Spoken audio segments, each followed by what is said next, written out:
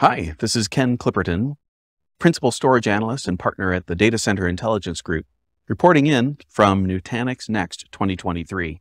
So we're nearing the end of the event, and I want to share just two key takeaways from the event. First, I, I was surprised at just how robust the storage offering is from Nutanix.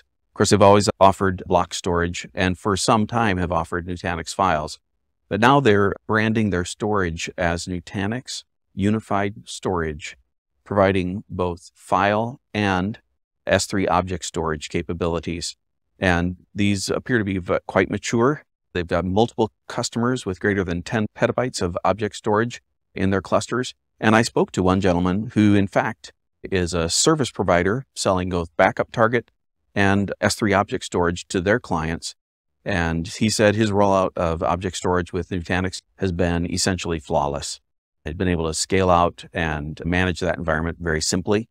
In other conversations, I learned that many Nutanix clients are building Nutanix storage clusters in order to replace their legacy filer environments. Nutanix is best known as an innovator in hyper-converged infrastructure, but now they want to talk about themselves as enabling simple hybrid multi-cloud environments.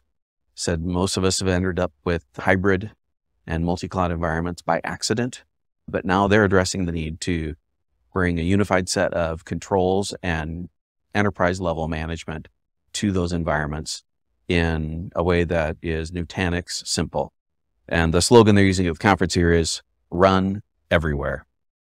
So those are my takeaways, more robust storage capabilities than I realized or expected, and uh, a focus on strategically moving forward hybrid multi-cloud environments. And they've announced some tools that enable that, including what they call Nutanix Central. Well, that's all for now. Hope you have a great day. Thank you. Bye.